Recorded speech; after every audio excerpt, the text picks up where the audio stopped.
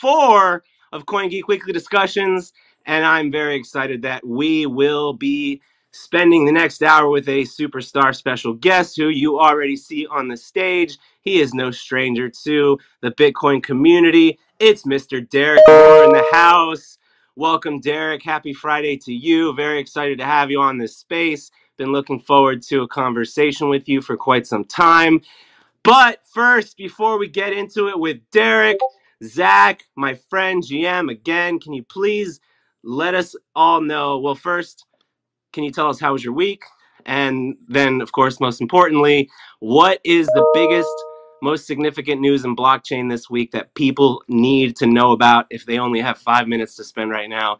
Tell us what they need to walk away uh, from with today about what they missed if they haven't been paying attention. So this week was great for me. Uh, I'm glad to be in 2024. Made some progress in business, made some progress in friendships, but uh, the most interesting event of the week was, I think, the SEC misstep in announcing the Bitcoin BTC ETFs a day early and then calling it a hack, and then Twitter kind of backing them up that it was hacked, but it happened the next day. So either way, the big news that ETFs are approved. There are 11 of them trading. Bitcoin price has gone down since they opened. Um, but apparently institutions can save Bitcoin now? Question mark. Um, biggest news of the week. Can't say I disagree. Uh, that certainly shook up uh, uh, uh, really the whole industry, and it's interesting uh, to see as it develops. We are going to be talking about all that today with Derek Moore, and of course, uh, all of the audience members who want to participate in the conversation. Um, but first, I just want to let everybody know. Uh, again, share the space, but uh, if you want to request to get up on the stage, we will do that in the second half of the of the show. So you can either hit the mic request button on the bottom left uh, now and uh, just be patient until that time, uh, unless you've been a guest on the show before. Otherwise, um, that way uh, you can skip the line. But uh, you can also put your questions in the bottom right and just go ahead and post a comment, uh, share your thoughts, anything you want us to bring up on the show. You can hit the bottom right and we will check the comments and we do our best to get to those. Uh, also, there is a giveaway. Might as well just go ahead and announce that now as a non fungible token of our appreciation. The traditional 4:20 p.m. giveaway for everyone here live who reposts the space within the first hour, we will randomly select one winner to receive a unique prize, usually a Bitcoin NFT of some kind. So, to enter to win, all you have to do is repost the space again. Just hit the bottom right, and then you're entered. Once the clock strikes 420, we will pause to announce this week's winner. But yeah, so back to the show. Gensler's account got hacked or not.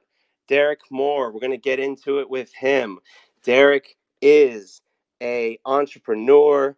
Derek is a scientist, a technologist, a programmer, and an engineer.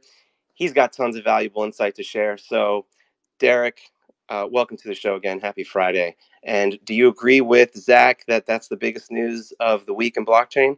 I mean, I, I guess you can't disagree with that, right? Yeah, thanks. Happy Friday. I uh, I guess so. I mean, who's that one lady? Elizabeth Warren. She came out all mad about it. That uh, there needs to be more anti-money laundering going on in Bitcoin. Yeah, a lot of people came out mad about it. I was I was debating whether or not saying that we got some like uh, published or publicized news about Teranode, but uh, I think the misstep was kind of bigger news.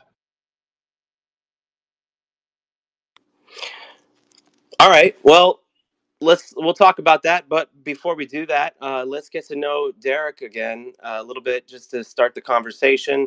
Derek, the first question we like to ask uh, most of our guests is just tell us uh, how'd you get into Bitcoin and anything you want to share uh, with the audience uh, about yourself. But most importantly, like what's your Bitcoin journey? How did you find out about Bitcoin? I know you're quite the OG. Has Been around in the space for for some time. So can can you give us that backstory? Um, I guess so. Mostly, I'm a nobody, and Bitcoin's kind of cool because nobody's can get involved in it. Um, I I don't know. Um, I didn't really believe in Bitcoin for a long time because of the uh, you know the way transactions are a directed acyclic graph. So it's like a fully transparent, and everyone can see like who's transacting with who. And especially if you're transacting with someone, then it's like, oh, now I know that this is your wallet. Now I can like basically assume like what your financial history is because uh, you'd like tagged me on Bitcoin in order to pay me for mowing your lawn. Uh, anyway, so I don't know that like that the like fully transparent nature of Bitcoin I thought was disingenuous because all of the activists that were promoting Bitcoin thought that it was um, some kind of a privacy revolution, and it was in fact like a tr- transparency revolution. So I ter- I referred to it as a mass surveillance system, and people didn't seem to agree with that terminology. Uh, and they were cypherpunks, and they thought that it was a privacy revolution. Uh, and so I stayed away from it because it looked, uh, you know, the community seemed disingenuous in that regard. And then uh, I guess I became interested in around the scaling debate, and I started thinking about like, I don't know, a friend of mine, Luke Dash Jr., was like had become by then a, an important Bitcoin developer. So you know, another nobody became very important to Bitcoin, and um, uh, and I don't know. I became curious in this. Uh, I, I used to like. I knew Luke had this anti-spam stance, but I was interested in Bitcoin as a storage system. You know, first of all, it, it stores these financial transactions in a way that's fully transparent. So it's like storing that at least. But then there's these memo fields it, it essentially has, like why can't we store there too? And so I would like flirt with Luke with these ideas about like, why are you building a mass surveillance system? And can I store the Bible on there? Uh, and we did eventually do that on Bitcoin SV. We uploaded like a 50 megabyte PDF of Luke Dash Jr.'s Bible as an early example of like on chain spam. Um, the New Testament of the like English translation in France. What's that called? Wait, Sorry, when you say we, did you did you imply that Luke Dash Jr. was involved in uploading that to BSV? No, but I think since that he has maybe put Bible verses in his memo fields, in his op returns, maybe he's known for putting Bible verses on BTC. Is that true? Um, I'm not sure. Sorry, I didn't mean to divert. I've heard that rumor about him. Clarify. Uh, no, I did that in honor of him, I guess. Uh, but maybe you know I maybe I said we because probably people donated to a wallet to afford it because I don't know what it cost at the time. Anyway, what were we saying? You're telling us the story of how you came to Bitcoin and oh how, yeah, so the uh, scaling debate. I was around scaling, and I, uh, yeah, I kind of want to pick your brain if your Magic DApp is doing on-chain storage. That's I want, I we sort of are, but let's get through your introduction first, and then we can get there. Yeah, yeah, yeah. Okay. Well, uh, so I don't know. So my interest, my interest really peaked in the scaling debate because it's like, well, if this thing is fully transparent, why don't we just like increase the volume and do really cool things with it, such as like permanently store anything, including our financial transactions. Uh, so I don't know. So I so I kind of watched the scaling debate very closely, uh, and I thought that you know in general, the scaling debate was lost, and I thought Bitcoin Cash was uninteresting. And then I realized like a, the scaling debate was happening again in Bitcoin Cash, and BSV was going to split off, and or like Memo. There was this like Memo um, social network, Memo Cash, and Memo, Memo Cash social yeah. network. That was impressive, and then you know it was cool how that social network like operated on both sides of the split afterwards but uh, but I don't know. For me, the Satoshi's vision was like really apparent in the Bitcoin Cash split, and and Bitcoin Cash like became an interesting thing because of you know Bitcoin SV's proposals. Um, otherwise, yeah, I don't know. I wasn't. Um, I wasn't a Bitcoin casher or a B casher or any of that. Of any of that. Uh, and I wasn't really a Bitcoiner either, except I was like, you know, studying the stuff. And then when BSV started to, you know, when the fork became sort of inevitable, I thought I thought that was apparent before the fork actually happened that the fork was inevitable. Uh, then I started to like buy the different bitcoins and try to use them, and uh, and then when you know when BSV actually split, then I decided to start uh, whatever looking into like participating in the network or uh, whatever being more involved openly or uh, using issuing transactions or whatever. And then and then people came up with these whatever all these JavaScript libraries got ported over, but people started doing all this op return good times. So I, you know, I sort of am known for becoming maybe a, a script kiddie in the op return era, or uh, you know, I worked a professional job so I could afford to like throw some money at, at transactions, and and uh, and I had the technical know how to do these sort of like publicity feats on BSV. Um, so I kind of worked with the BSV user community to make, I don't know, spectacles. I would say. Like like what? We talked about putting the Bible on chain. What were some of the other spectacles? That sort of thing, or I don't know, some of the first, uh, like I, I put the first video blog on chain. Uh, what was it? Uh, well, Kevin Pham was doing this thing where he would like post these inspirational uh, Twitter live feeds, live video feeds, and he would like recount uh, the moment in like block height. He'd be like, you know, it is block height, something, something, something, and then he would like leave a message to the to the present and to the future. And uh, so anyway, so I did a few of those in response to Kevin Pham, and then and then I uploaded mine to the blockchain, and then the Bico Media, a few like blockchain media scrapers would you know would present the video to you, and so that really like knocked people's socks off. Uh, we were doing a lot more than that, you know. I mean, Shatters I think did the first, and then um, Unwriter indexed it as a website. It was some kind of a you know through the looking glass um, alice in wonderland fairy tale. Some images and some text. Appropriate. Right and that kind of uh, opened the door for everybody to just start issuing these like um, we started with data uris and then we and then unwriter sort of defined the bitcom protocol protocol uh, you know and then it was off to the races from there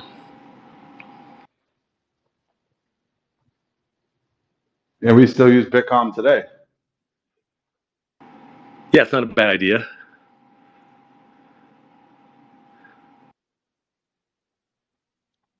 So, Alex, did you have questions, or can I just keep going here?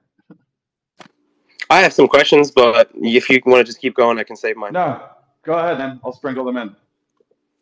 All right. Um, well, let's start with this one. Uh, I would love to ask Derek, what do you think is like potentially the most groundbreaking use case for blockchain, right? And uh, and maybe to tie and this might be the same question, but if you can sort of look into the next five, ten years for the impact that blockchain will have on the world, um, what are you most hopeful or um, looking forward to?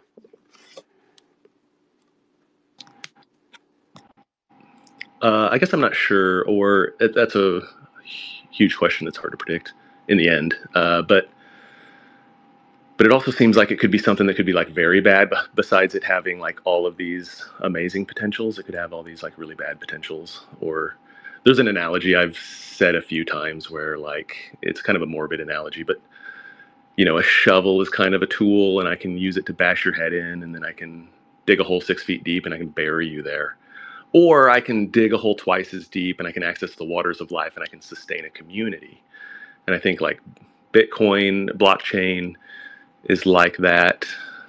Um, I've heard Craig Wright also give that analogy, and he says something about houses, and maybe his version's less morbid. But um,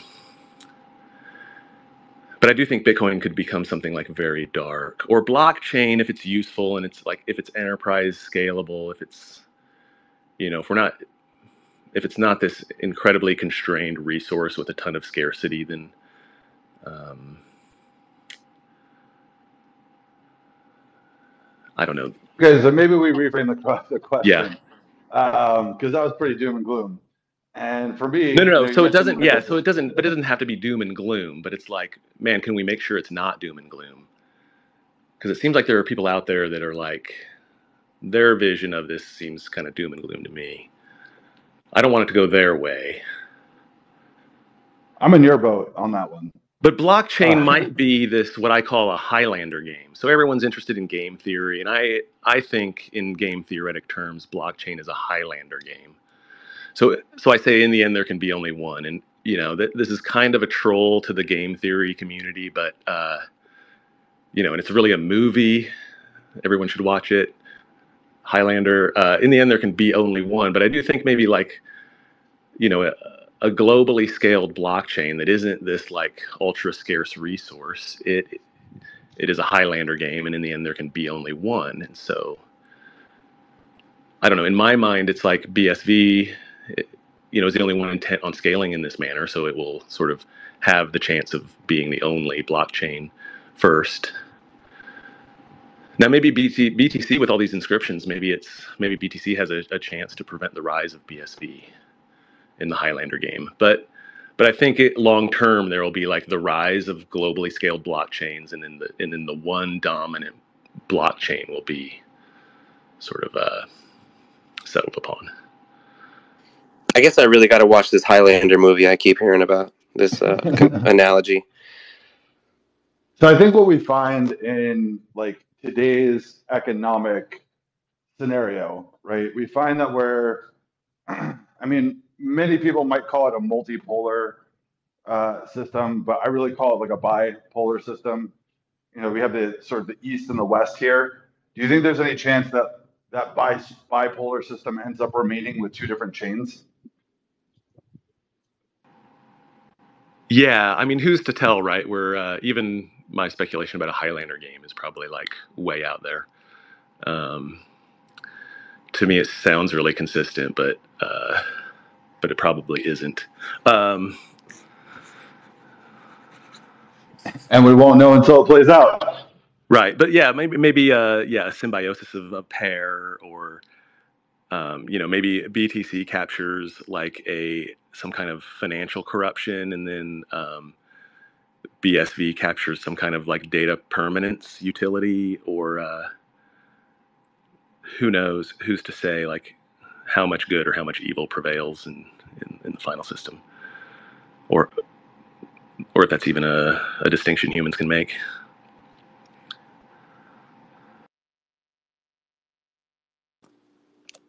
So I would like to know, Derek, what can you tell us about what have you been working on lately, uh, and has it been anything related to blockchain? Uh, Well, um, I've I've worked in recently in sort of message passing systems or persistent message passing, like Kafka style systems, or RabbitMQ style systems, or Pravega was the system I worked on. These kind of systems are inherent to building scalable platforms that, um, you know, message passing is sort of like the the heart of computing in the end and uh, and large systems need to like distribute work by sending messages to each other, and then you need a durable messaging substrate, um, you know, to facilitate this kind of work between eh, within a distributed system. So um, there's a lot of I guess options there, but and that's maybe where Teranode comes in. Uh, I did read this recent, like today's press release about Teranode. Or I didn't read it; I skimmed it, but it, you know, it looks like they are overviewing the microservices involved and some of the theory behind it. And they talk about like the subtrees of the Merkle root that they shard, like transaction validation according to, or whatever. So, um, I, I guess that's kind of I work on large software projects. Uh, currently, I'm working, you know, just as a as an independent consultant. I had to stand up my own S corporation, and so I'm doing corp to corp work recently um, in the medical space. Um, uh, but but this like what the capabilities of blockchain are always kind of in the back of my mind in terms of storage, massive storage and distributed storage and permanent storage. Like what blockchain provides us there is really enticing. Um, and it's not necessarily like a use case or a you know a solution begging for a problem, so much as it's uh, it changes the way you think about certain problems. So it's like a new solution domain, and people don't really fully comprehend the capabilities there yet. Um, so it's got to sort of sink in with people, and and you can kind of see that. I, I think BSV people are on the cutting edge of sort of absorbing this new way of thinking, but but then you get into tools like scrypt or paradigms like um, arbitrary bitcoin script. And then it, and then it becomes like really hard even in bsv land to sort of imagine the possibilities or take the, those possibilities and then implement your use case. Um, you just need like such a level of expertise and familiarity that you know people haven't really built that up yet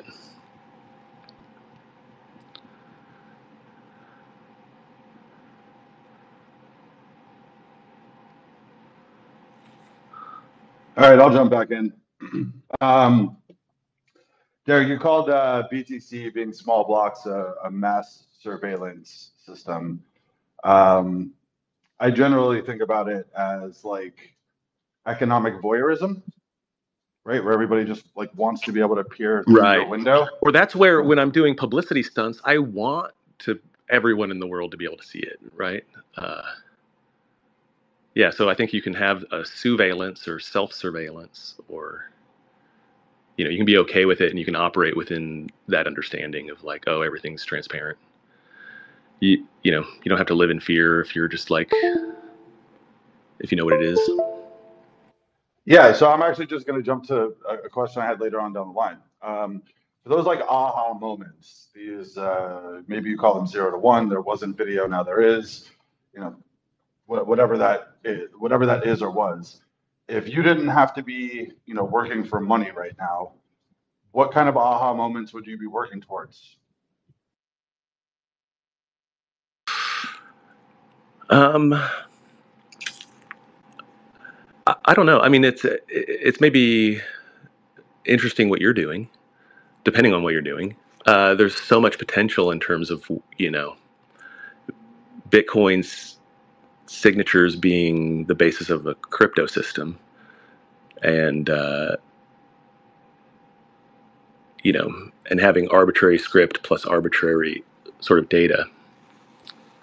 It's just uh, there's so much you could do. So if we're just thinking in the medical space, like why why wouldn't I be able to um, have some kind of MetaNet like protocol where my medical records are on chain and I peel off keys for my different providers and they write um, my medical records into my little medical DAG and uh, and I sort of walk around with my with my medical records self possessed on Bitcoin, you know, with keys that applies I to any record, right? yeah, for sure, record, anything. And then these are sort of standards you could do on any. Yeah, and I, I, you know, Craig Wright sort of hinted around about like PeopleSoft and SAP with his like Walmart post recently, but but you know these bills of laden goods and stuff can can be done in that way, or you know DHT was all about like the container sh- they would they would run the ferries between container ships and the shore to like bring these bills of laden goods onto shore or DHL, one of those package services. Yeah, that's the one. DHL. Uh, anyway, Um, I don't know. So, so all kinds of like secure. Um, I don't know. The, the blockchain or Bitcoin can become like an Ethernet of sort of secure transmission in in this sort of data space. Besides a bunch of um, you know public exhibitions of data. Yeah, listen, I'm I'm a big believer that Bitcoin itself can be a truth machine. Uh, I've gotten to the pedantics about what truth means in this case. Not that what something, not that what someone wrote on it was factually true, but that they wrote this thing on a given time, you know, within Then, a given yeah. block, right? That we can all, you know, technically call the source of truth is, I think, immensely meaningful to building a trusted society in the future. That's a whole different business pitch that I'll give you at some point in time. But the other thing that you said that I wanted to, to um, ask you about is you called yourself a, a script kiddie in the in the days of op return. So what does that mean, and what did that feel like? Um, I mean, script kiddie is just maybe like a derogatory way of saying uh, someone who t- tinkers with like other people's code. But but there was so much like sharing of code and forking of code. Really, like a lot of people know about Shruggr or David Case, and uh, but but you know, we developed these protocols, and then there were like you wanted to send out transactions according to that protocol, and then people were like sharing scripts that you know showed how to emit transactions according to that protocol, and so people were just um, reusing each other's tools and you know doing different things with it. So so it sort of started we were just posting data uris in clear text. And so and this is like inefficient way of encoding data. It's like ascii encoded uh, binary data when when the transaction itself is like a binary format in the first place right? So instead of instead of encoding data URL, urls uh, the b protocol was defined and that was like a a bitcom protocol called b for like giving a MIME type and a file name and file contents and that sort of thing. Uh, so B was sort of limited by the size of a single transaction, and then I worked with a few people to develop BCAT, which was uh, which was like a master transaction that pointed to a bunch of transaction IDs that were your file parts. So it was a way of like splitting the file across transactions, and that and that. So this starts to bring in like the blockchain. Bitcoin's implementation of the blockchain is can be thought of as like a, a hard drive for the internet, and transaction IDs are sectors in that hard drive. Um, and then you can sort of you can implement file systems in that way on uh, and so that's kind of what we did and then um, and it was sort of who can make the more interesting use cases of that right so unwriter released a bunch of cool tools one of them was bitstagram and it would scrape like b and bcat transactions for that were media that were like known media types, and he just list them like an Instagram feed, and that was pretty cool. Um, there was this chick Amrita, and she used some. She like reused, remixed some of Unwriter's tools, and she made like a little chat room that was fed by a faucet, so people could fund the faucet, and then like people sitting in the browser window could like choose a username and type text messages to each other, and it was all like written and scraped off chain and um, and so so she like she would like if it became unruly, she would mute. She could mute everybody. But then I like reversed. I reverse engineered her protocols in the way in the wallets that she was tipping to whitelist, and I uh, and then I started like posting on her chat room while while she had it muted. Um, you know, it was just agent of chaos, dude. Yeah, agent of chaos out there. I don't know, but it, you know, it was it was just everyone were, were doing all these different experiments, and then you know, uh, people were you know plussing each other's experiments. I know that's some Disney term, but I get that the plus. Uh, I think it's really interesting that that cat came back um, as a conversation for BTC people this year because of ordinals, right? And they found other ways to do this sort of like they call it recursion, but I think it would have been much more simple if they could just concatenate some files across a few transactions. And there's still arguments going on about that, like right now on. And I think someone has Twitter, done an audio file on BTC across. Someone spent like twenty thousand um, dollars. One of our friends spent okay, uh, yeah. somewhere around five thousand. Patrick. Oh, is that what it was? Uh, Patrick Collins, yeah.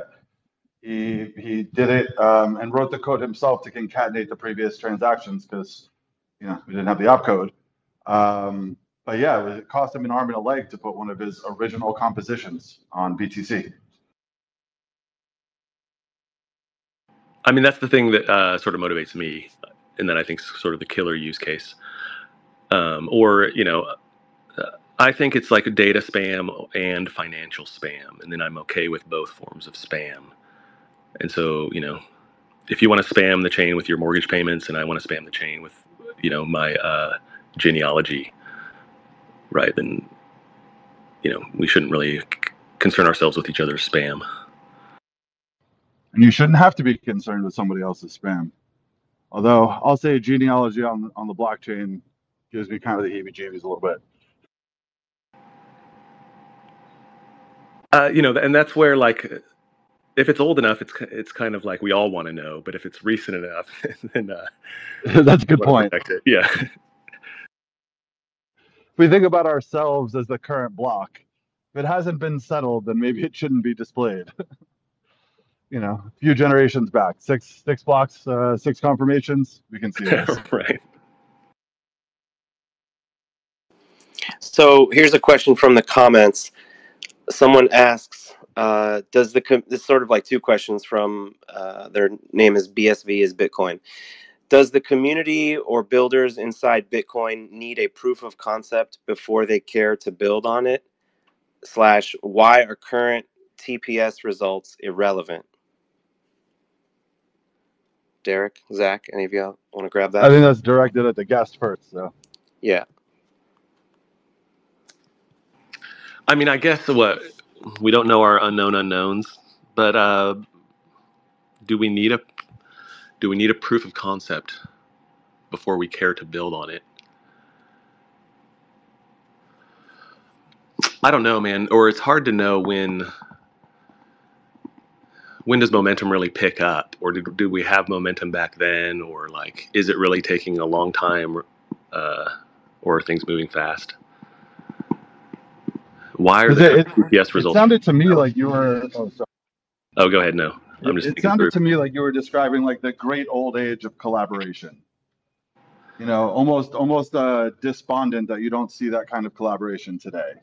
It's That- maybe it's fair? still there, but it got it got a little boring, or it got professionalized, or like it didn't really get professionalized, but like the Twetch guys picked it up and ran with it, and they didn't make any money. Um, you know that it had. It's always you know you're always optimizing price and quantity, I guess, and uh, it's how, does to price and quantity balance with like the contributions people were making and, and building on top of each other? I don't know. Yeah, maybe. I don't know. I don't know if it slowed down, but it but uh, other people took the reins, and then uh, it really depends on what's economically feasible. Yeah, I get that. We hear that things like um, even if if uh, for instance like Streamanity had all of its videos on chain, that streaming the videos would be so costly that like the site couldn't really make money. So, you know, even some of the stuff that is there and is like historic record on chain, um, if these videos had been put up in that time frame, may not be able to be served in the way the original authors or publishers had intended. And I think you're right. We're we're sitting at an opportunity moment right now where there's a lot of opportunity to make money in BSV if if people can figure out the right pricing model or uh, customer acquisition model for providing services above what exists right now. But even saying that out loud, I think maybe some of those gaps that I just called a, a profit opportunity, you know, opportunities for people to build companies, um, in in the earlier days might have fill, been filled by people who were, you know, just thinking about how to solve these problems and solving them and publishing them open source. I don't see as much of that anymore.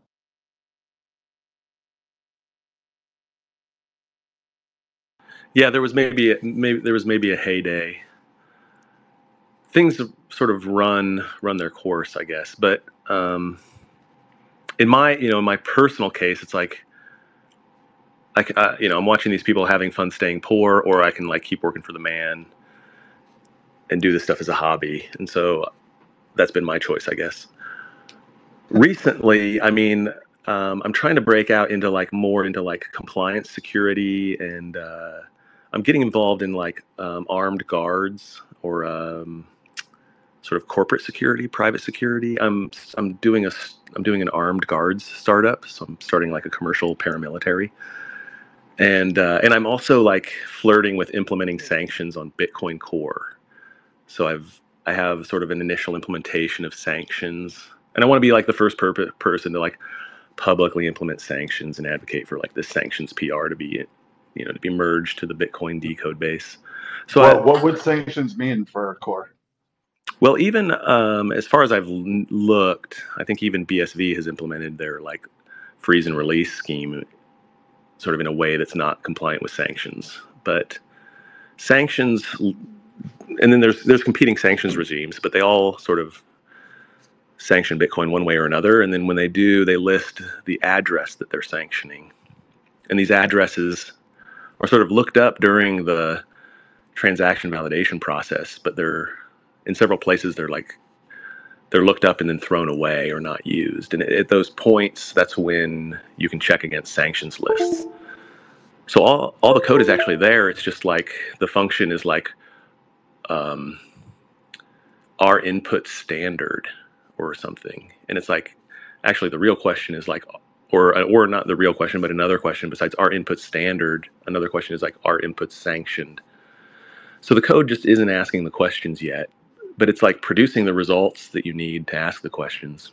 So I've gotten in there and I've like analyzed the code and and I've got my initial implementation. So you can, you know, the United States Treasury offers a 90 megabyte XML file that contains all of their sanctions and and it's really some simple XPaths in a you know in a loop over this XML file, and you can extract like the 376 um, sanctioned Bitcoin addresses, one of which is a Tron address, um, and then you can basically um, consider that your sanctions file, just a text file of um, you know Bitcoin addresses and new lines, like you know one address per line and they could be these one addresses or three addresses or BC one addresses. Um, but what happened there? So uh, an address gets added to the sanctions file, right? Yeah. And so some miners in some jurisdiction people people will be in different jurisdictions. They'll have different sanctions files. You know, different different jurisdictions sanctions files will overlap, and then those sanctions will be stronger. Um, okay, so in, in practice, right? Let's say uh, the United States sanctions North Korea. I think that's a, a. or there's 375 sanctions in play already that the miners are kind of in um, willful and knowingly violating. The the miners. so this is different than a blacklist. Uh, it's a dynamic blacklist in the sense that you're not blacklisting transaction IDs. You're blacklisting addresses that can be used in out in the TX in or the TX out. So the a transaction has two arrays, the TX in array and the TX out array. The TX in array is out point references that point to output scripts in previous transactions, and then the TX out array are new output scripts. And you have to scan both of those for these sanctioned addresses. Right. So uh, let's say I send a transaction to a, a sanctioned address the miners in the US decide they're not going to do anything with this transaction because it fits the sanction criteria. They just wouldn't, yeah, they just wouldn't include it. But then maybe a mining pool in Russia would include it because these are like Russian gangsters or. And then, so if Russia or someone in Russia wins a block that has these transactions in it, yeah, is the United States then going to build on that block? Perhaps. Or, or currently, they do. Yes, currently they would, and so a few mining pools have flirted with sanctions and turned them on and off at different times. Mostly, I think all the mining pools have sanctions off right now, but that might not be true. Uh, uh F2 pool and Mara pool have maybe been observed sanctioning and not sanctioning intermittently, and uh, but but then like you're like we're saying, uh, miners that violate sanctions will include the transaction, and then F2 pool will build on that, or Mara pool will build on that. Uh, so in the code that I've written so far, I have implemented um, check sanctions option and sanction blocks option. And so first you can turn on check sanctions and that will incorporate sanctions into transaction validation. And then you can turn on sanction blocks and that will enforce um, sanctions during new block validation. Um, so so pres- presume maybe people wouldn't turn that on at first, or maybe people would decide their their sanctions regime has enough mining power that they can safely turn that on, and they can kick out Russian blocks because you know the U.S. and European sanctions regime is strong enough, you know, to orphan Russian blocks. So so maybe they start turning this on. So does participating in a system like this run the risk of forking the chain into multiple jurisdiction chains? Um, only if uh, if Russia would then be like, oh, we're we're going to hard fork against your, you know, if we can, or, or orphaning isn't hard forking, right? So so if a sanctioned regime becomes powerful enough to orphan other uh, unsanctioned miners, then uh, or sanctions violating miners, uh, then then no hard work happens. But if but if the minority people that are constantly getting orphaned want to stop being orphaned, then yeah, they'll have to find some way to fork. Uh, but who cares? I guess. Uh, at that point, like, there's this principle in Bitcoin that kind of comes from the early days that like the chain follows hash power, or like um, you know, hash power defines the chain. So, and that was Luke Dash Jr. prevented a hard fork that was that was happening when like some some early version of Bitcoin D was released. And the and the hard that hard fork was almost ignored under this like, well, if you know if mining power is going to move over to the hard fork, then fuck it. But but actually, like Luke Dash Jr. threw up enough signals that miners quit moving over to the hard fork, uh, and then they patched you know they patched the code so it didn't create a hard fork. Um, That's an interesting tidbit of history. Yeah, it was like an accidental hard fork in the Node software upgrade, and then one, and then the biggest mining pool was the first to upgrade, and Luke noticed the hard fork, and Luke got that mining pool to revert, and all the while Gavin was saying like might makes right, you know, if hash power moves to the fork, then the fork wins, but but also like communication works too, and you know you can get people to back out, but uh, but yeah, if they didn't want to back out, right, and everyone moved over, then like maybe might would have made right, and who cares if it hard forked accidentally. But uh, but anyway, they didn't want that bug to sort of perpetuate, and everyone backed out of that release.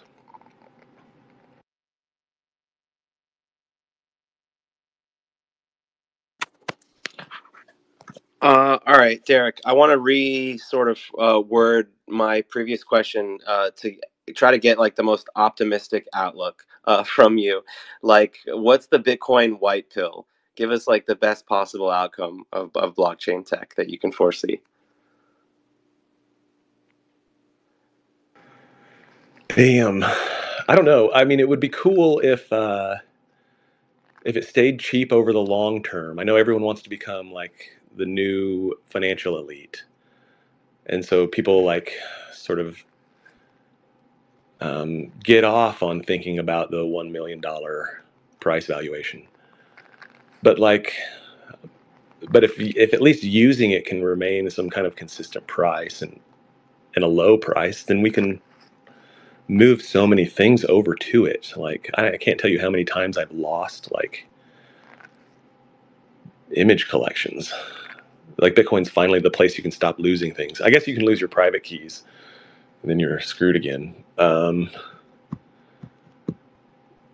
but uh, but I, but it, I think it would be cool if like if I could issue my own social media posts, and then social media indexers could like pick them up uh, you know, I don't really want to be using Instagram and Facebook and uh, Threads and TikTok and X and uh, what have you. I'd rather just be putting content on chain and and then everybody out there can like remix their different view of it. Uh, so you can do something like that right now on a concept that Alex brought to me that we built uh, right before Hodl Locker was built. It's called ordpost.com.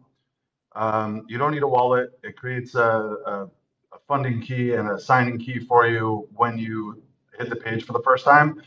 We pay for the transactions when you write a post. They're limited to like a thousand characters, uh, but it's signed by your key, and they fit that sort of model that you were describing, right? Where it's described with some metadata, and other indexers can pick it up, regardless of it, whether or not it came from WordPost. Yeah, or um, I hey, Derek, you got to think bigger, man. I'm like asking for the best white pill, best optimistic uh, outlook of blockchain technology's impact on the world, and you're giving me an app that like Zach in our I lifetime built in like a, a weekend. that who built? That Zach built in like 48 hours.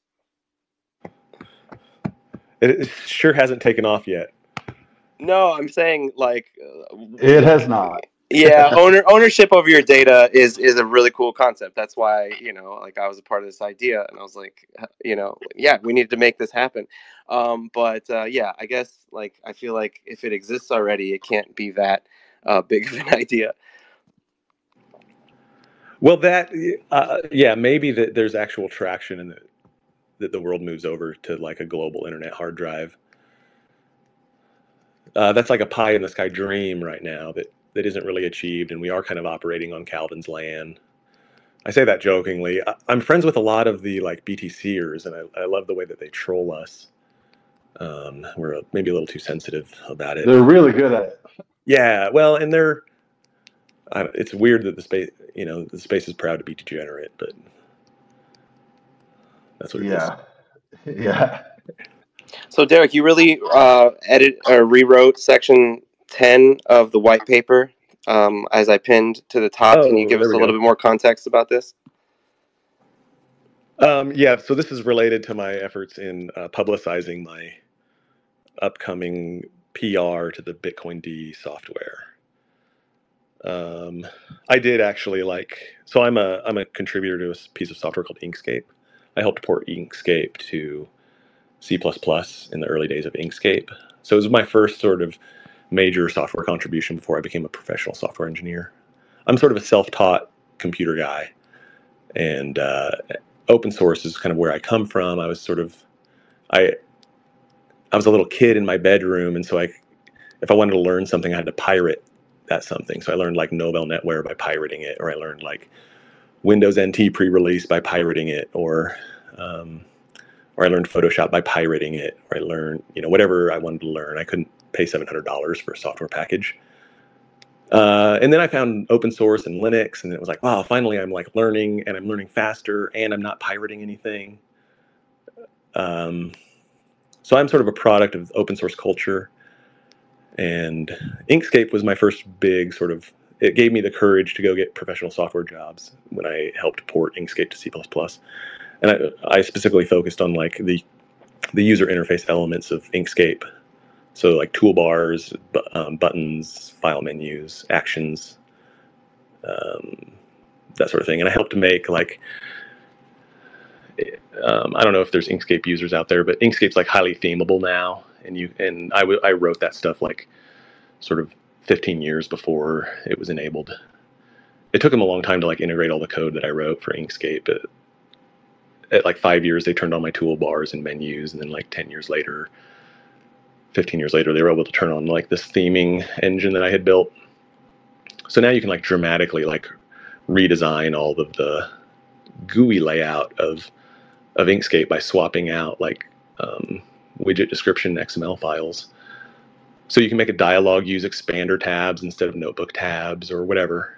And then you can like swap out XML files and relaunch Inkscape and have a totally different user interface. Land the plane for us. How, how does that uh, relate back to rewriting of Section 10 in the in the shared post? Oh well, because uh, because I really love graphic software, uh, I like decompiled the PDF and then edited like the the PostScript and Inkscape and like added these little arrows. So what I'm showing in my edit is that like um, sources like the SDN. The SDN is the specially designated nationals list, and that's um, that's the U.S. Treasury's list of sanctions, and that uh, that list allows you to pierce the veil between identities and transactions in the Bitcoin network. And it's essentially the U.S. Treasury is like doxing bad actors in Bitcoin, right? And so you can take these addresses, and there's a name and an organization there, and and you suddenly know who these people are. So I guess that's what I'm showing there. And this is a this is kind of a spoof or kind of a kind of a hoax or just a way of like visualizing what I'm talking about. There's also been all this like talk about the latex, um, the LaTeX uh, source for the white paper. The white paper ostensibly looks like an open office document, but it may be um, a LaTeX document or um, an encapsulated PostScript document that was passed through OpenOffice anyhow, LaTeX is some kind of a scientific document authoring language. Um, so, uh, so that's I, what everybody sees written as uh, L A T E X. Latex. Yeah, you might pronounce it latex, but then computer scientists or uh, chemists, uh, people that write published papers, have to encounter this language most journals accept LaTeX files, and so when you when you're initiated into authoring a LaTeX file, you're told that it's pronounced LaTeX, but it's spelled latex.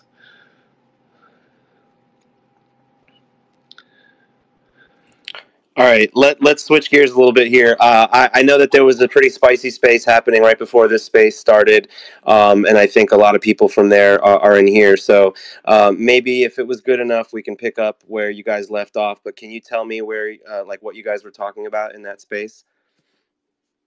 Man, I forget. What was it? I was only in there for like a minute, uh, but it sounded sounded pretty heated. But that's the way I guess uh, BSV spaces uh, typically are. I've been joining a lot of spaces lately, and it's kind of just uh, open open forum discussions or counter trolling or having a good old time, busting each other's balls or not balls, as it were, as according to each All right. Well, uh, I think it, it's probably about that time. It's been an hour. Uh, so I'm going to invite some of the people that were in that space. I see already requesting to get up who might have some questions for you, Derek, or want to continue the conversation. So welcome to the stage, Joe and Tommy. And we will say that uh, in 20 minutes, we do the giveaway. It is a legend, or I think it's legendary. It might be epic, mythic. That's the one. Mythic Champions battle card We've gone with the theme of giving out the frog prints. We're going to continue with that theme. Got a giveaway coming up in 20 minutes. If you haven't already liked and or reposted the space, go ahead and do that now to become eligible, and you might have a frog prints coming your way. Yeah, and I just pinned to make it easy. There's only eight people who have entered so far, so you have a pretty good chance of getting that if you hit the repost button if you haven't already done so. You got about 10 more minutes before the snapshot. So get your repost in and get that NFT. Happy Friday, Joe and Tommy. Thanks again, Derek, for uh, spending an hour with us. We hope you can spend another hour with us as we move to the audience uh, section of the show. So uh, yeah, I think I brought Joe up first because he's got the blue check mark, and we've got a cast system in, in Twitter now, apparently. So, uh, so other than uh, wanting to create a spectacle and be a headache for ocean mining, uh, why do you think the miner level is appropriate and held responsible for the sanctions? Um, especially like in the in the BSV model, like where you think of it as the internet. Like, are we are we really going to look at sanctions for passing data packets uh, across the internet? Yeah, as a matter of fact, you have to. Um, it's like standard business practice in America to write these, to write a policy document that, like, I intend to honor, you know, the U.S. Treasury sanctions. And you want to have these policy documents on file to protect yourself in case of suit. Like, you can get behind on implementing sanctions, and you you don't want to sort of knowingly violate them. You, uh, American sanctions are kind of America has some what are called long arm sort of laws, and the American sanctions laws are a little bit long arm. They certainly require like all U.S. citizens and all U.S. nationals to like always enforce U.S. sanctions. Like, and most Americans don't know that, but whether you're employed or unemployed, you need to like always know what the sanctions are and enforce those sanctions. Now, none of us do. Uh, but like that's our obligation. And should we violate sanctions, we will uh, go to prison.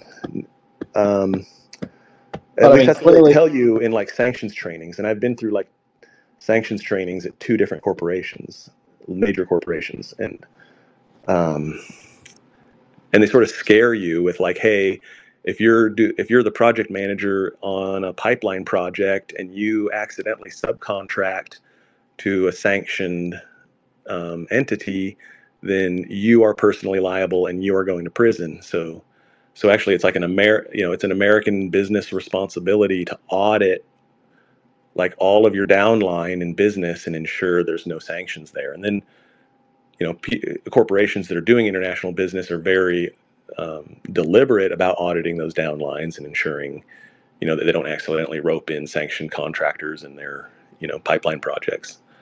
But that's like uh like there's a clear financial contract there. So that's I mean to me that's a little more understandable. Like you YouTube I guess what I'm saying is like YouTube can't stop Russian data packets from uh, from being transmitted across the globe, which is what essentially you'd be doing if a miner has to not allow valid transactions passing data across uh, the Bitcoin network to be transmitted.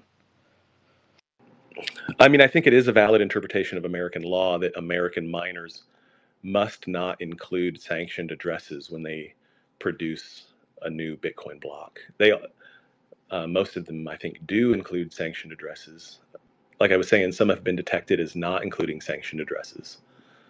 Uh, there's a guy, one one Bitcoin developer in particular, is has some weird hexadecimal username, but he's active in the GitHub Bitcoin Core project, and and he w- sort of watches for some of this stuff.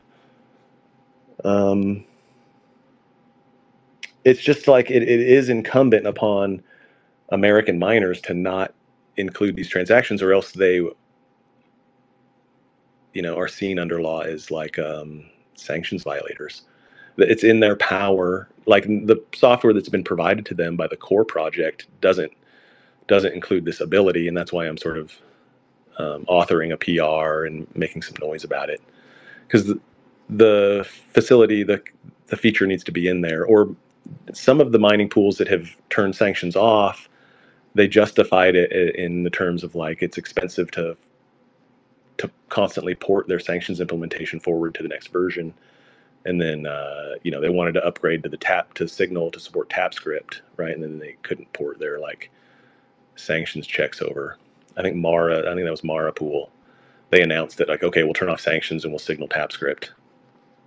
Uh, so they had some old node implementation they were running that had their private sanctions implementation. And I've seen some of these. There's a there's like an implementation up on Pastebin or something from 2014 um, that sort of checks against the sanctions file in the way I described. And that doesn't, uh, like in the BSV world and in our idea of the future, that doesn't present a threat to scaling if pre pre sanctioned node software, uh, all these addresses go out and make four so billion, the, four billion like, UTXOs. Like that's not a scaling problem to have to validate uh, whether they're sanctioned or not. Four billion, not, not particularly. Or it's like um, if it comes to the comes down to like the initial block download, that's like a little bit too late to be enforcing sanctions.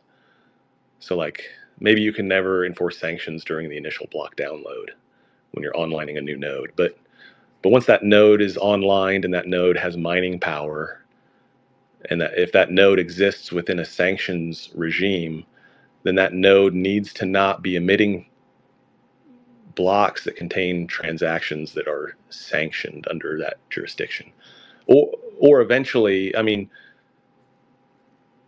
in that last space, Matt, this Matt Z character was there, and he was talking about power dynamics. So, like, so if if this is the correct interpretation of sanctions, and sanctions aren't being enforced, and sanctions protesters aren't going to prison, then like, then yeah, no one will implement sanctions. But but if the state begins to enforce the law as it exists, then you know people will be found like in violation of law.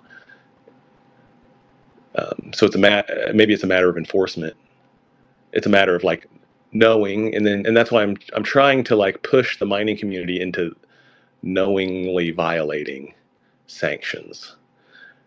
And sanctions doesn't actually allow sanctions is like, hey, sanctions laws when you get trained, they're like, it doesn't matter if you don't know. Like this law is written in a way where like not you know unknowingly violating sanctions is the same as knowingly violating sanctions. These are like the states of mind in sort of criminal law. Um, anyway, there are states of mind greater than negligence, and these states of mind greater than negligence are, are like knowingly. And so I want to move the Bitcoin mining community, uh, you know, into a state of mind greater than negligence. I want them to be knowingly violating so that when enforcement comes, they're, there's, they've been warned. Does that make sense? You must, you must not like Luke very much. I just think this, you know, if you want to be an activist, you need to be an activist about the right thing. And so if you think, you know, rather than protesting such a monstrous piece of legislation, like why don't you go about changing it? Or I've been scared by sanctions trainings. And I don't want to scare others, but it's just like, but this is what it is. And uh, and if it's going to be that, then let it be that. Or or why don't you guys protest in a more meaningful way and like change these sanctions laws? Or or if there's nothing there, then let's get rid of it. Or if there's something there, let's keep it. I think there's something there, and probably we should not be um, allowing sanctioned drug lords and sanctioned terrorists and yeah it kind of it kind of came up in my mind actually uh, from this there's kind of this idea that marketplaces that allow non non-custodial or atomic swaps like have no liability and if you actually read their like terms and conditions like they state as much that they have no liability because it's a tra- there's no uh, there's no third party custody between the swap and, and whatnot. But I was thinking like the transaction cannot occur without them being there. Like because they're holding the witness signature and they're the only one that has the witness signature. So they're the only ones that can really uh, filter UTXOs, like whether it's like uh, mixed funds or whatever it is like the customer on either end of the trade has no ability to preview like who they're doing business with. They just give their half of the of the anyone can anyone right. can spend. Uh, it just made me think of the kind of the same thing like that Magic Eden thinks like they have no liability or wh- whoever thinks they have no liability, but it seems like uh, especially because I think they're American that they are going to have liability because they are not custodying funds, but they're responsible for. Uh, but yeah, there's some kind of information they have in hand that. I mean, you can pretend to look the other way, but it's like, dude, you got to look.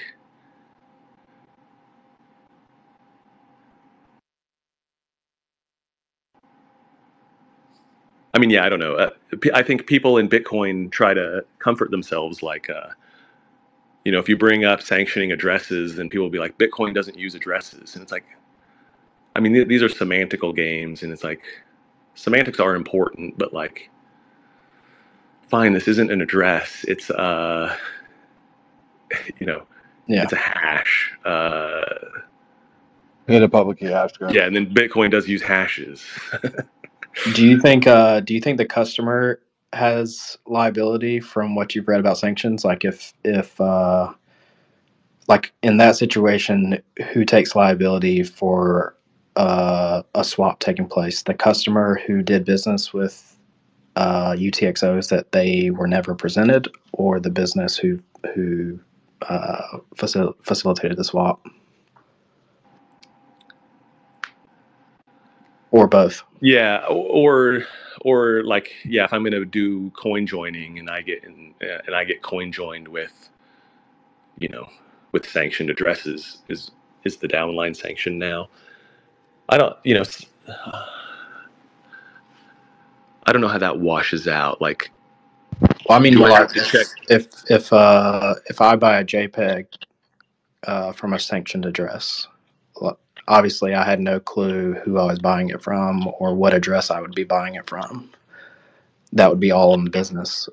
Would I have? Would I be able to claim ignorance, or you're you're saying there's no such thing as ignorance for anybody?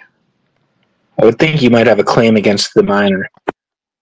Or that I don't that I don't know. Or um, I mean, you're getting at something real specific. It's kind of hard to think about. Why don't you phrase it one more time?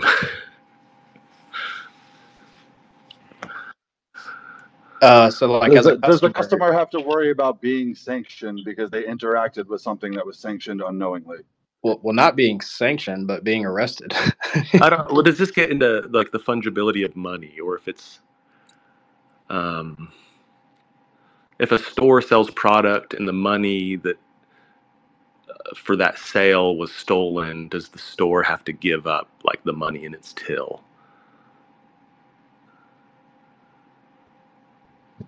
Right. I, sometimes the answer to, to that is yes. And maybe yeah. sometimes it's no, or, right? I don't right. know. Um, I've heard of maybe that concept referred to as fungibility. I don't really know what that means. Um, You're right. Uh, Especially but- you can move on to somebody but- else's question. Well, there might be some responsibility on the sanctions administrators to like to trace and update addresses if they want to. The the mining um, what during transaction validation the the node goes as far back as the the out point references in the TX in array. Um, to go back further and further, you'd have to load, you know, from those those out point references point to output scripts that exist in a bunch of TX in arrays, presumably, and then and then those have their TX out arrays, and you can keep you can go back like as any number of generations. The my implementation of sanctions only looks back like one that one outpoint reference. You know you're get, you're given one transaction it has one set of outpoint references.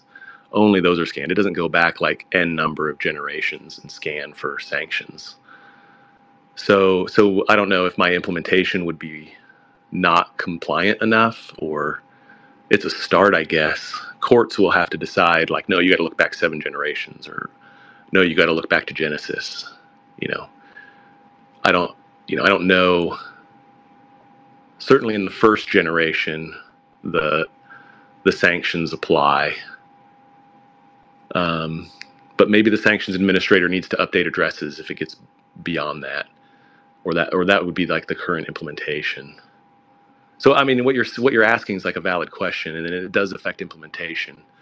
And my implementation only looks back like one generation of outpoint references. So how far back do you have to look is a question and then and then if i'm downline of some sanctioned addresses am i tainted as a consumer like and it turns out it went through binance or something and then oh but i was using binance over vpn kind of like spoofing my identity and i don't know or are, are my is my bitcoin now tainted because i'm downstream of some sanctioned addresses or uh, it becomes much more expensive for transaction validation to you know to check further and further back. So checking checking back to only that that first generation of outpoint references is is actually cheap and then done redundantly and thrown away each time. So it's like well look here it produced the addresses like four times and threw them away each time why don't we like now i'm just saying we're going to check them once so anyway i mean your question's valid and uh and it would affect the correctness of like my implementation but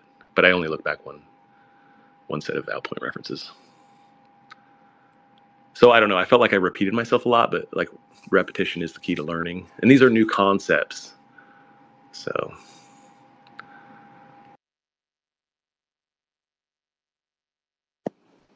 All right, we've got a question from the comments. Uh, Ray is asking, what are some of the best practices for someone that wants to run a hobby node or miner?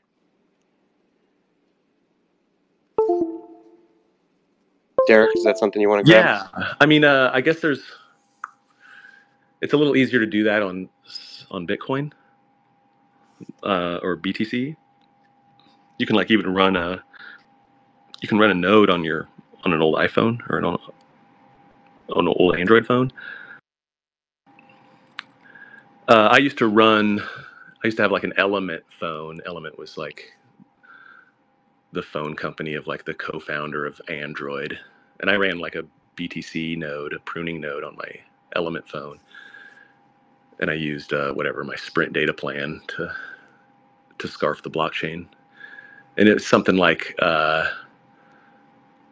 I forget how much cellular data I was using, but it was like insane. It was like dozens of gigabytes per month, or like 120 gigabytes per month, or something to to just like stay in sync with BTC.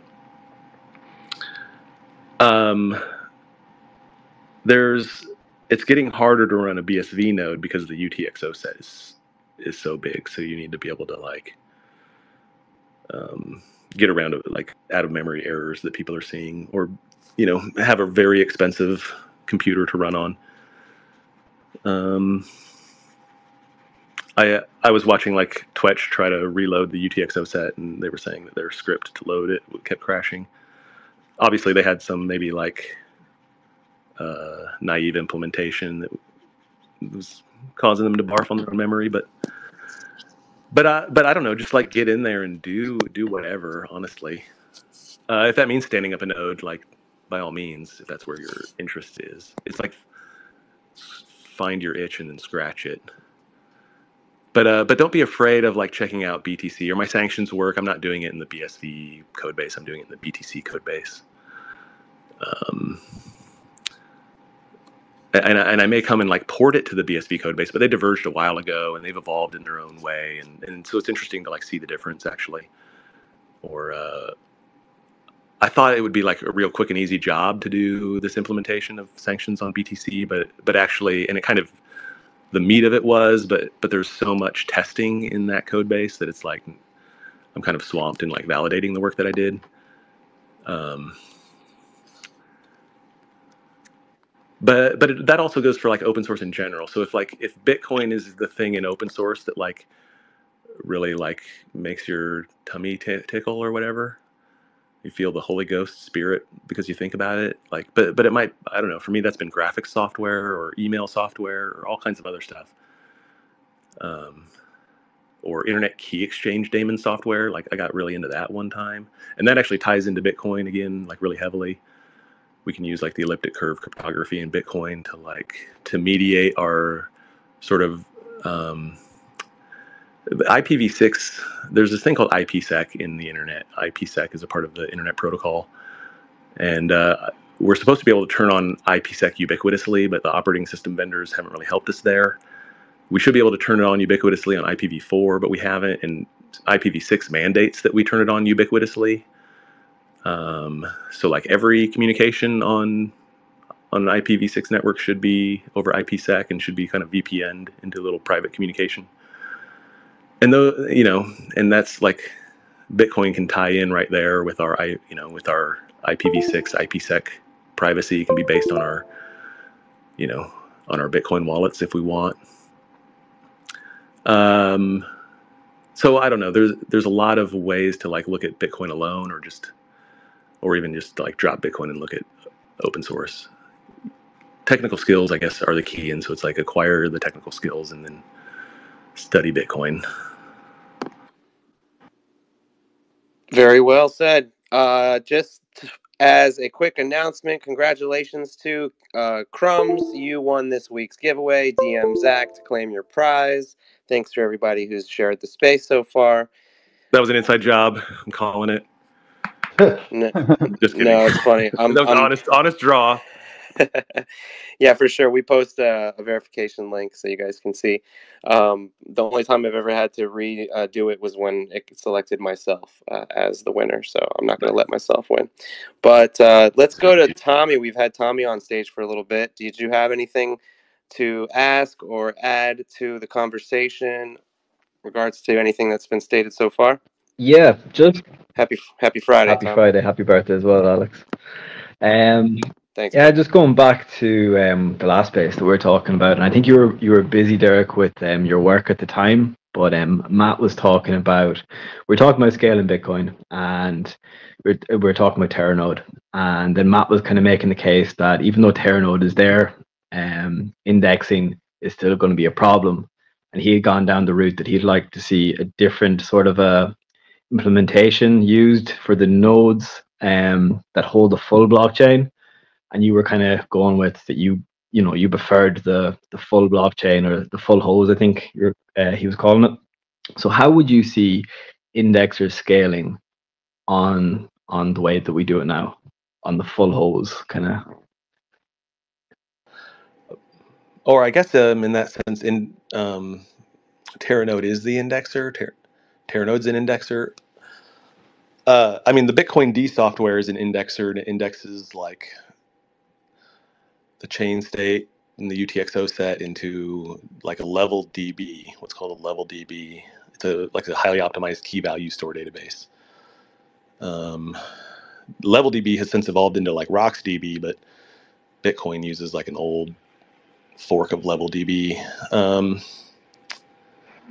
this which or like any like company that was running an indexer indexer before are all their problems solved with Well, Teranode?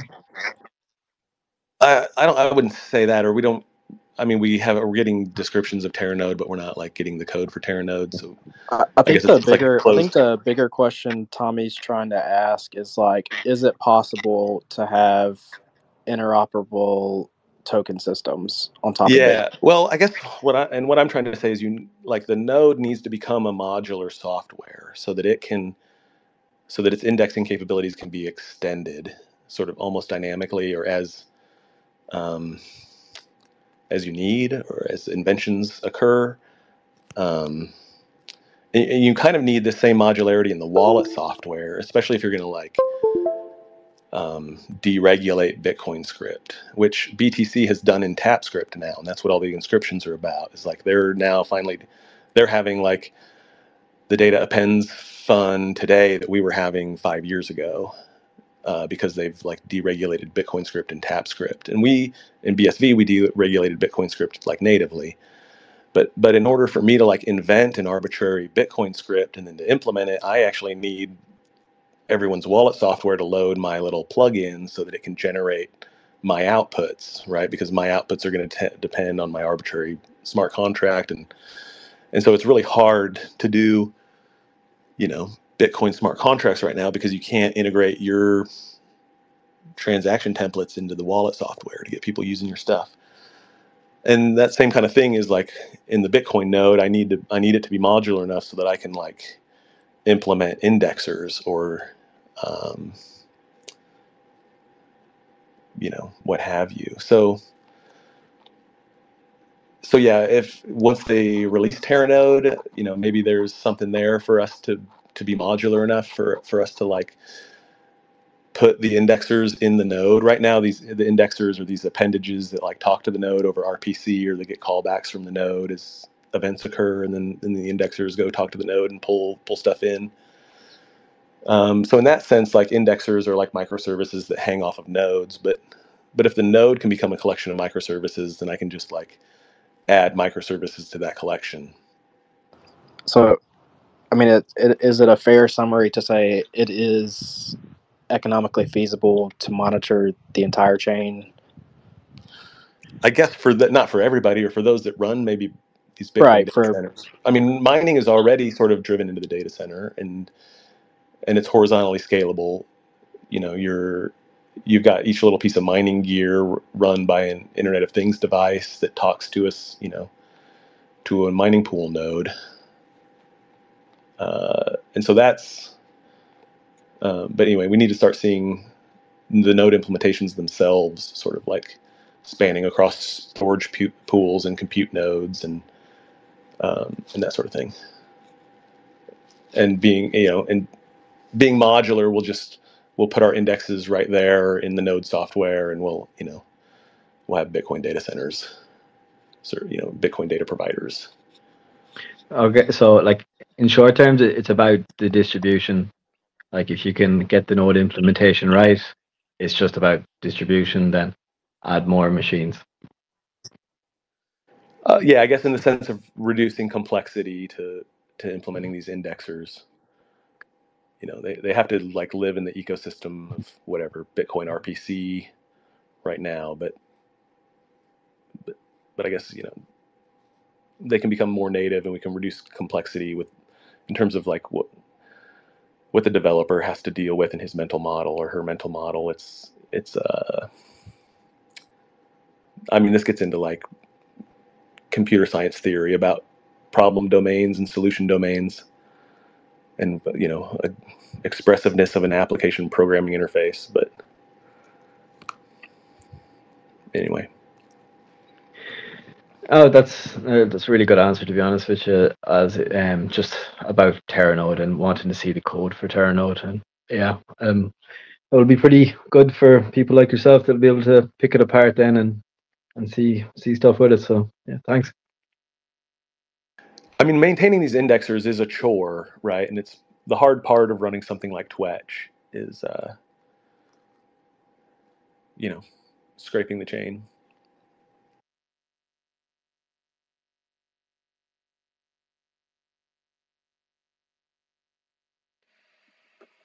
Hey, Derek, I have a question. Um, I was talking to Kurt Wuckert a while back about ASIC miners, and he told me that the data demands of miners, like over the internet, you know, the amount of data that it sends back and forth from the pool and the node is relatively small.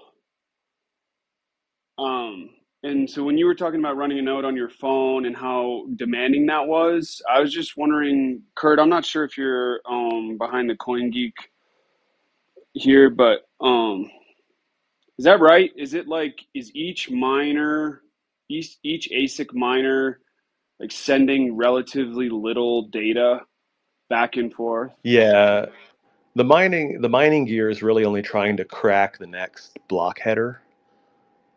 Um, so it so yeah, it only needs like most of that block header, and that's where like Ocean Mining Pool is trying to work on this what they call Stratum v2 idea of like asking the miner to asking the hash power provider to also run a node and then to provide not only provide like the nonce and the you know that that completes the header that produces the appropriate like leading zero hash. Um, they they also want the miner to to produce the merkle tree root. And this is more like this is more like trying to evade responsibility for sanctions. It's like, oh well, if the miner gives me the Merkle root hash, then I didn't look at the sanctioned addresses. Uh, um, anyhow, So is that just uh, BTC scallywaggery, or is that gonna be with the? respect to their Stratum V2, yeah, it's like another protest, So it's them just another trying phase of the to protest. trying to trying to avoid the the issue still, right? I mean, it's an Well, aside. they're That's an also aside from the main question, which I just forgot. they're also like recognizing that now there's 75% hash rate controlled by two, three pools. Very few pools, yeah, eleven at best.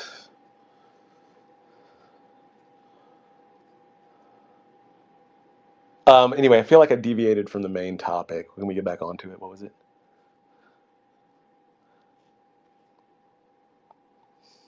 The question was the amount of data uh, being Oh, the difference, right? Oh, so I was talking about like a a full, what they call a full node or a you know a pruning node, the actual node software. So I was like communicating with other mempools and you know responding to inventory requests and uh,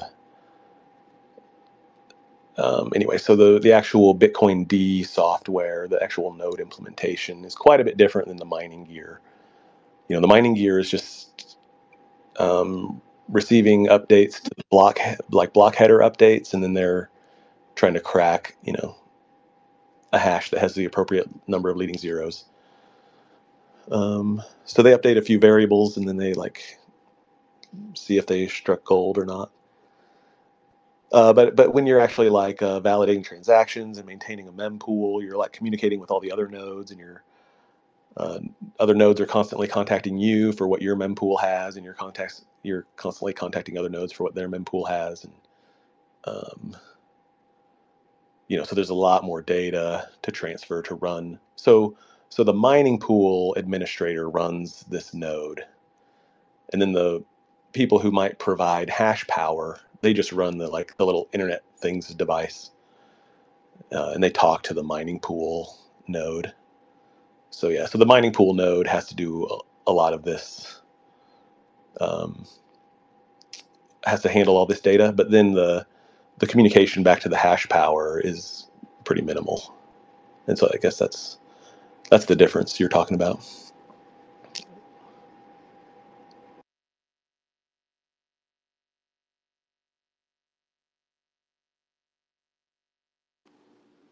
All right, good stuff. We've been having a great conversation with Derek. As I imagined, it was going to be full of high level insights and really good information. So, um, Zach, I'm wondering if you've got any more questions before we go around one more time, just to see if uh, everybody wants to take the conversation into, uh, as traditionally the after party space starts uh, as soon as the space is over. Zach, not sure uh, if you're going to be opening it up. Yeah, I'll start that. Um, we can go around the questions, and, and we'll get that open.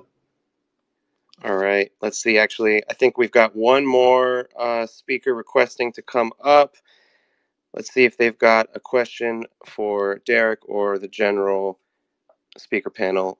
Welcome and happy Friday, Impossible Artifacts.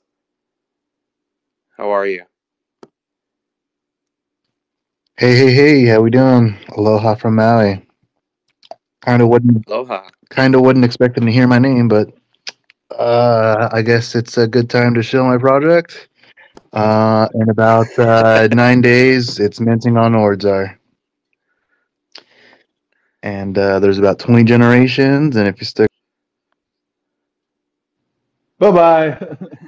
oh, that's all right. got- we could have given I him got 10 that seconds fast finger show, but trigger, bro. I got that fast finger trigger up here. that's funny. All good, all love. Uh, but yeah, we've never seen you here before, so um, maybe next time hang out a little bit before you uh, are so quick to show. But um, it's all love. Anyway, yeah, thanks again for uh, Derek Moore, your time uh, spending with us. Really appreciated, and everyone who came up to speak. Uh, if you are in this room right now, I believe you're at the center of the network. So uh, I've really enjoyed the space, and uh, I'm looking forward to touching some grass this weekend and hugging the people I love and getting some sun. Uh, I recommend that you do the same. But uh, thanks again, everybody, for listening. Appreciate you all. And Zach, I think uh, is that is that it from everyone else on the stage? Tommy? All good. Thanks. All right, yeah. So I'll remind everybody the weekend, go do some good in the world. We'll open up an after party space right now. Sweet. Thanks, guys. Really appreciate you being here, Derek. It was great to chat with you. Love listening to it. Controversial or otherwise, it was a great time speaking with you. Thanks.